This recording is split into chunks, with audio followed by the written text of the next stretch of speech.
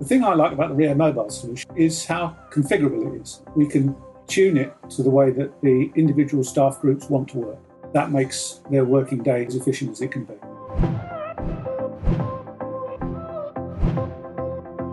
When we started with Rio Mobile, they gave us a bit of a template solution um, to, so that we could understand what its potential was. And then we worked with them to identify the minimum number of forms that we could work with in the COVID limited record keeping regime that we were working at the time.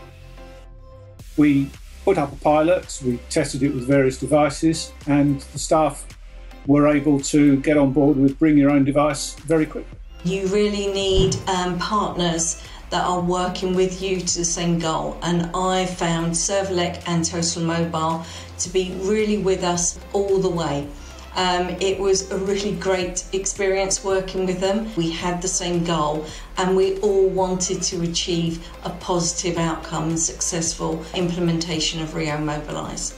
Since we've implemented Rio Mobilise and hearing back from staff, I would have no doubt um, recommending this solution. It has revolutionised the way we run our clinical services in the community. It has been fabulous.